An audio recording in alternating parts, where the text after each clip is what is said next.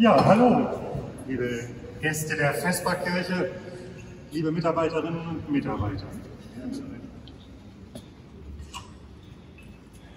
Wir tun Ungewöhnliches in dieser Kirche. Wir essen und trinken, wir sprechen und lachen, sind traurig und suchen vielleicht einen Gesprächspartner, eine Partnerin.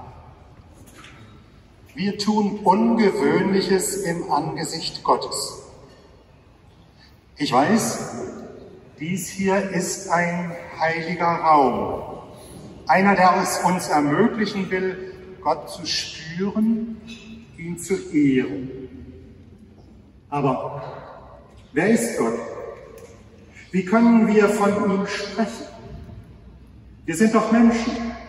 Wir können ihn nicht erfassen. Unsere Gedanken und Vorstellungen reichen dazu nicht aus. Was machen die heiligen Schriften in dieser Frage? Was die Tora, was unsere Bibel und was der Koran, die heilige Schrift der Muslime? In der Tora, der jüdischen heiligen Schrift, unsere christlichen Vorfahren haben sie übernommen und Altes Testament genannt, bindet Gott sich in der Zeit, als es noch kein Volk Israel gab und die Menschen Nomaden waren, an Menschen.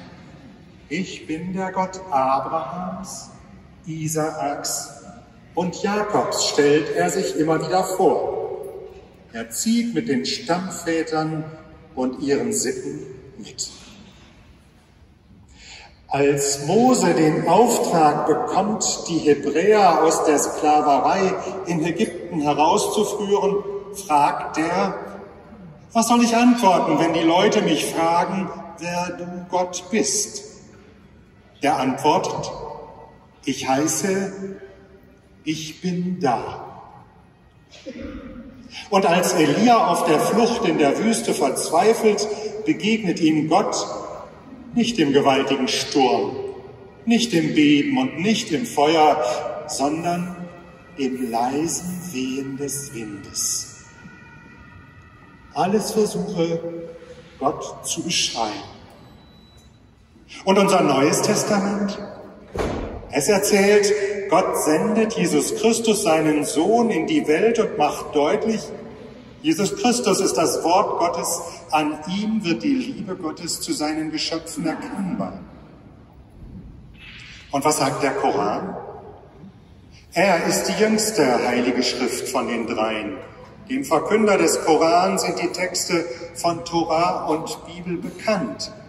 Er nimmt vieles aus ihnen auf, um seine Zeit um die 620 nach Christus zu deuten. Er ruft die Menschen zum Glauben auf und Gott mit seinen schönen Namen anzurufen. Gott hat nach dem Koran 99 Namen. Ich kann sie nicht alle aufzählen, das dauert zu lange, aber zwei doch. Al-Arachman und Arachim.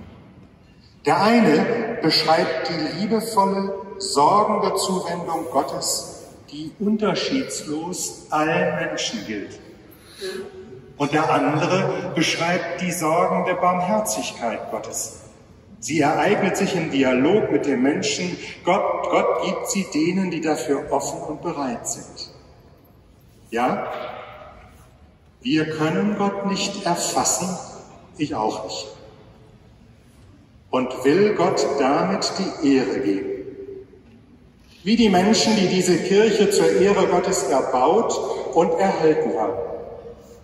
Ich möchte es immer wieder tun und lade Sie ein, es mit mir zu tun. Amen.